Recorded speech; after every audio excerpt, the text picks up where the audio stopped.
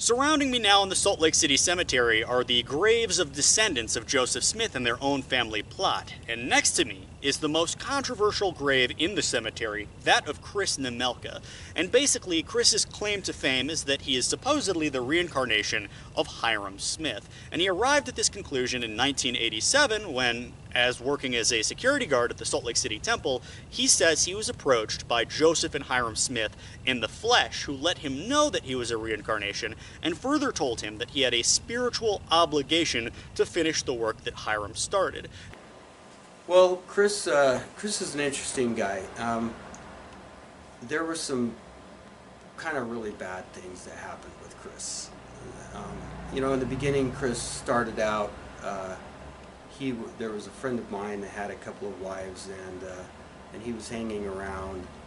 So then Chris came along, and then he kind of seduced uh, this girl, and then he also seduced one of the wives of, uh, or the, the cousin, one of the wives of, of my friend.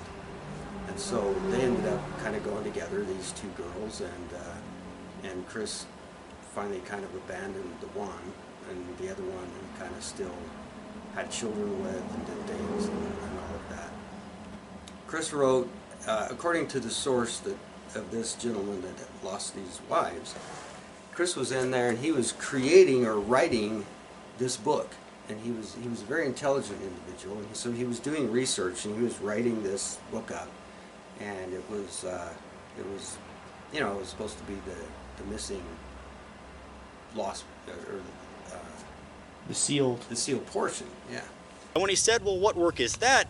Joseph told him that Hyrum was actually working on a translation of the sealed portion of the Book of Mormon. And to explain to my non LDS friends what the sealed portion is, Joseph Smith was translating the Book of Mormon, and his friend, who was acting as a scribe, wanted to convince his wife, who was a skeptic, and Joseph Smith allowed him to take a transcript and give it to her.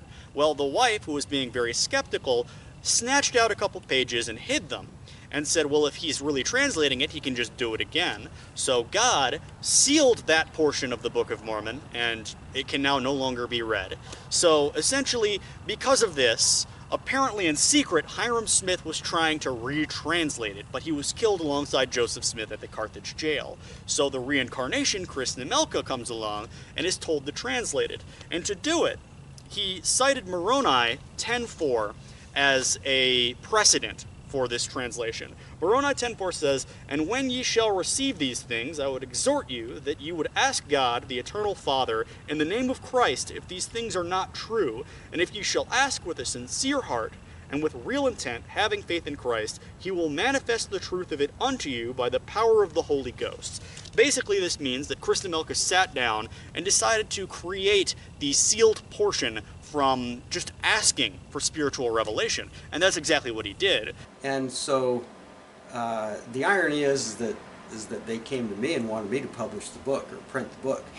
And and I'm I'm kind of looking through this book and shaking my head and I go, I'll just print it for you. I'm not putting my name in or anything, you know. But but you know we, we did it and uh, we got the book published. Nobody else would publish it or print it. So so we got the book out and and I believe because of the intelligence of Chris, he had a lot of truths in there. There's a lot of interesting things that he had dug up and put together.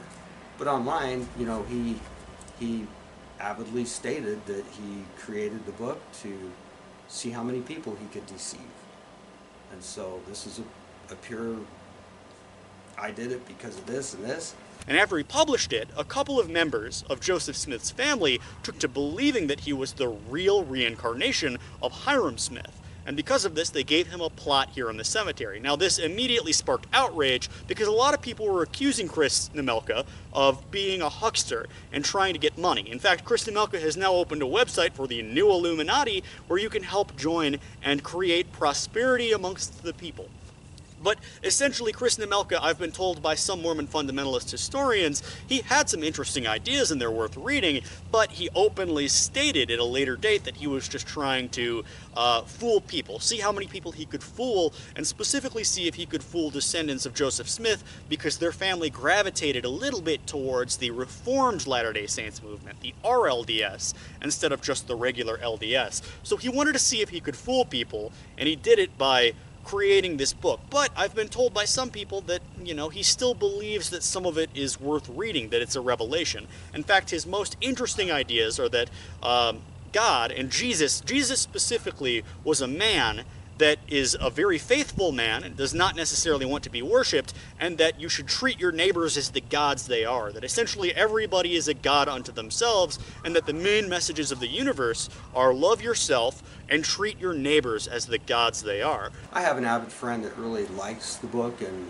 likes Chris, and he says, "Oh, there was, there was a group that of really intelligent people that said he was just put up to do that." You know, so it was still a true book. So it's it's worth reading, but it's not the final truth.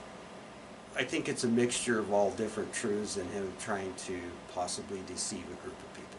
That, that's my belief. What Because I he said that he came from sources, so why was he writing it? That's the question. Truly, why I- was this? I heard from one of the ex-Mormon Facebook pages that Chris wrote it to see if he couldn't deceive the families of a couple of Joseph Smith's descendants and get a grave on their plot. Have you seen his grave? Oh yes, that's true. That was part of it. Yep. It, it seems like a, a prank, and apparently they keep knocking it over, but he keeps rebuilding it. Yeah. Does he actively run a church anymore? Well, I think he believes. No, Chris. Chris. Uh, I think Chris believed that he was the reincarnated Hyrum Smith. I think that was how it went. it says it on his grave. Yeah. It, it marks it as the grave of Hyrum Smith. Yeah. He's got his website on there too, and it's talking about the new Illuminati and how you can join the new Illuminati by going to his website. It redirects you. Ah, interesting. He's a fun guy. lots of lots of interesting stories of Chris, you know, um, and so that was kind of how that went down. And there's uh, there's a lot of stuff. I have a, I have a lot of people who followed that path. I personally don't believe in that path. I think that there's issues, as you can tell. And he's in an empty grave here, and apparently when he dies, he's going to be buried right alongside the descendants of Joseph Smith.